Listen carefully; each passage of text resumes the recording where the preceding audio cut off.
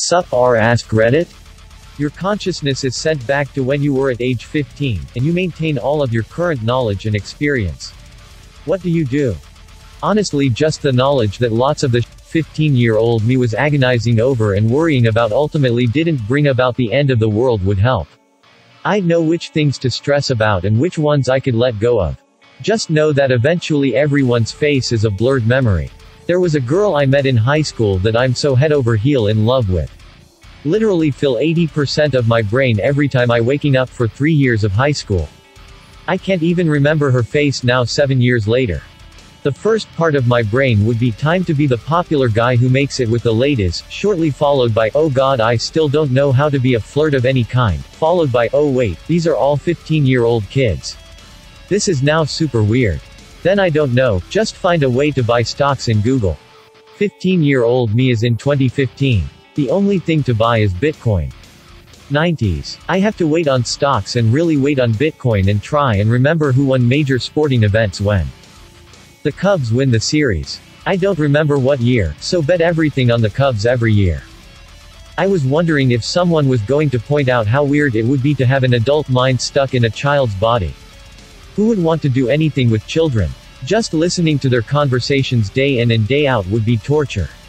My friend went back to secondary school at age 24 in order to get qualifications for uni setup. She was ill as a teenager and had to drop out. The amount of empty teenage drama she came across was painful to witness.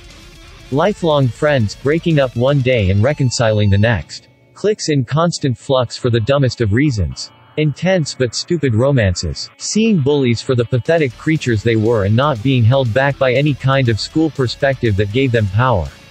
Apparently it was sad yet liberating to see, and she spent her remaining time there trying to stay as uninvolved as possible.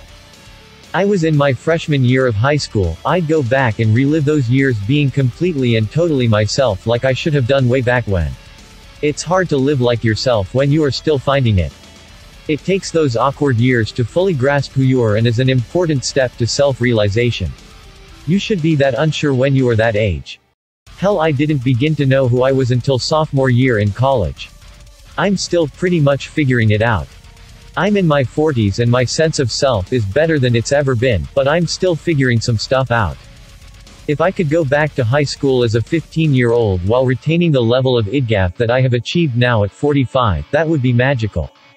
I would rule that school. And ironically, you wouldn't really give a f about ruling it.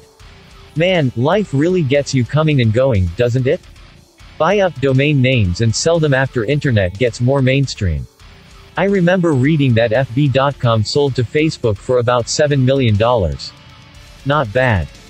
And Bitcoin. I would get all the Bitcoin buy Amazon stock, a lot of it, and then start a long-term friend zone relationship with Mackenzie Scott only to bide my time. In 2021, that's when I make my move to finally kick our relationship to the next level. I forget some people were 15 before the internet got popular and not just 4 years ago. You and me both. I call Sony.com. I have a strange urge to maintain personal websites called Spotify, Netflix, Reddit, YouTube and Pornhub. They would just come up with other names, right? Porn Pub.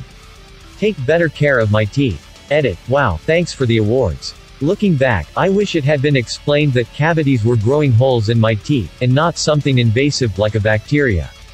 A million times yes. Knowing about acid erosion as well as tooth decay would save a lot of future pain and dentist bills. You know, gingivitis is the number one cause of all tooth decay. Me too. I do now, but 15 year old me hated flossing. 25 year old me still hates flossing but every time one of these types of questions appears on Reddit I see the same dental care answers and it keeps me going weary. Don't date my first girlfriend. Try to maintain friendships while moving. Take college more seriously. Buy Bitcoin. Hug my grandparents more often.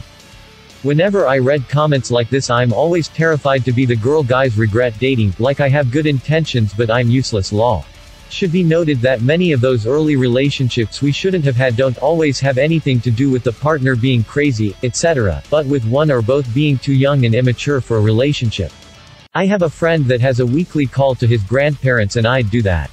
At one point, I had a 45 to 55 minute commute home from work. In the early morning, the commute in was only about 35 minutes.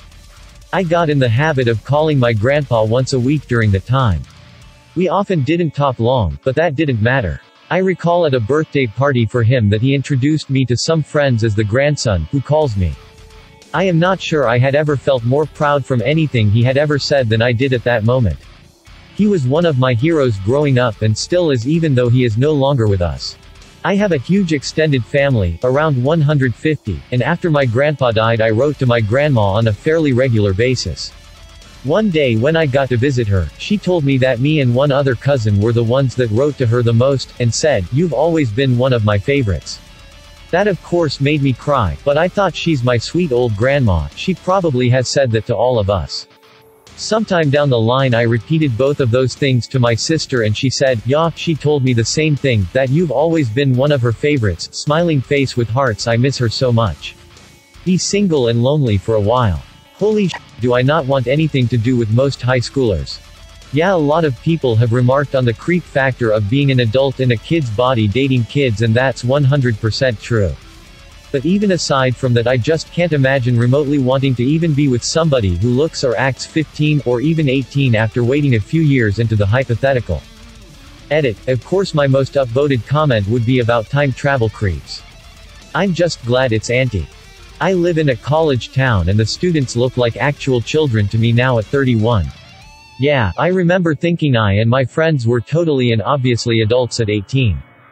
A while ago, I'm now in my 30s, I went to a university open day and found myself looking at all the 18-year-olds there like who let all these children into this university? It is the completely opposite for me. When I was 18, I was thinking, wait, I am still just a kid. These 22-year-olds look like adults, then I turned 22 and looked at 25-year-olds and thought of them as adults. Now I am 29 and I still don't feel like an adult. Maybe it's just because I don't behave that way. But I am also kind of happy about it. I am 40 now, with two kids, and I just realized my adulthood when I couldn't decide if I was more excited to get my Roborock S7 or my Ryobi electric mower with bagging to trim around my gardens in an effort to stop my husband and kid from getting lawn clippings on my mulched areas. They're both coming the same day and my excitement is beyond words. I kind of feel that. I'm 29 and I got a tiny bit excited buying shallots at the supermarket. Focus on high school a bit better, try and keep in touch with my best friend at that time a bit better after she moved across town, talk with my dad more about family and stuff, apologize for being a little in middle school more. Figure out my major a lot faster. I'd actually focus less, I was the kid that broke myself just for a small edge into college. I really could have been more well-rounded person, with less breakdown levels of stress. I was that guy who coasted through HS with little effort to get high marks. When I got to college, I was quickly cut down by the AMT of work required that I just didn't know how to do. I think I'd take school more seriously, just to develop the necessary work ethic. In fact I'd take school teachers and administration less seriously. I obeyed every word of theirs just to look good in their eyes, which did me no good. Well, knowing me, I don't make the stupid choices I made for the past 31 years. But also knowing me, I would make totally different stupid choices. Because I'm human. Just because I could now avoid the traps I had fallen into back then, this does not mean I would not fall into different traps. But hopefully the sum total would be a better life. I know there are career changes I would make. There are financial decisions I would do a better job with. For instance, on the day I graduated college Apple stock sold for 15 cents a share. If I had bought $5,000 worth of Apple stock that day, I could sell that today for $4.6 million. So there's that. Best time to plant a tree is 20 years ago. Second best time is today. First I'd break up with my girlfriend at the time. 1. It wasn't a good relationship, both of us did some stuff that only inexperienced people would. 2. I would be 25 in mind and she'd be 15. I would be 25 in mind and she'd be 15. Gah holy hell I hadn't considered that. Now, think about all the crazy popular, romantic vamp fiction that has 300 plus yo dudes hanging around in schools. And try not to vomit. 1. Good dental hygiene, floss, brush twice a day always. 2. Make exercise a part of the day, it is harder to get this into routine as you get older. Plus the fitter you are when you're younger, the more it will tide you through when older. 3. Continue pursuing things that I find interesting, even if I'm not and will never get good at them. It is wonderful to have things to enjoy for the sake of it. 4. Be nicer to my parents, especially my mom. It is a lot of responsibility, and they did their best. 5. Take feedback and criticism in stride, and not let every negative thing make me question everything. Edit. This is my most upvoted comment.